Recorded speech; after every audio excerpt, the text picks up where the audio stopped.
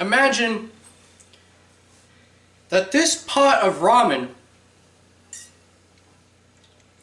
was a video game.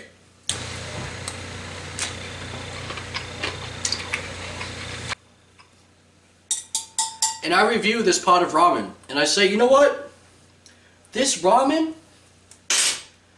could use some salt or some pepper. And the game developers are like, okay, we'll give you salt and pepper.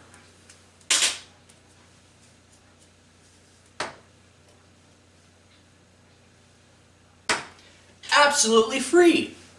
You know why? Because us as game developers really care about how you feel about our game that we made for you. And we understand that you're a consumer. And we understand that you gave us your money for something that we created for you. Because we love you. And you're a consumer. And without you, we wouldn't exist. So because we love you and we appreciate you, we gave you something that you wanted for free.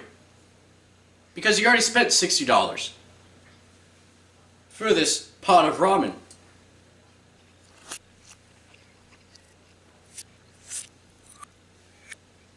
Yeah. That salt and pepper really made this ramen a lot better.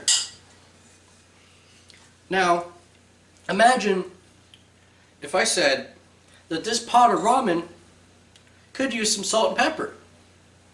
And the game company says, Five dollars.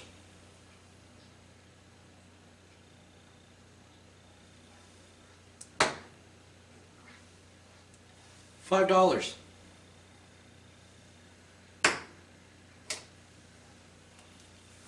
You could buy both of these for ten. And maybe, maybe we'll give you something you don't want for free. Garlic.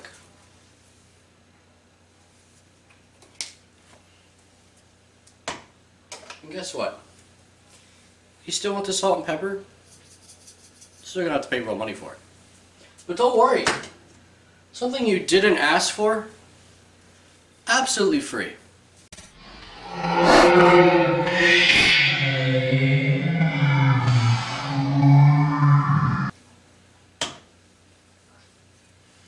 And then the consumer goes, hey, they put garlic.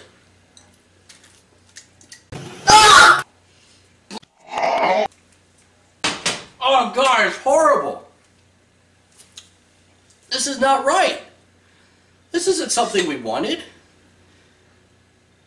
The thing we want is right here. This is what we want. But why can't we just have it? Something so small. In order to get it, we have to give them money for something so little. That should have been in the game.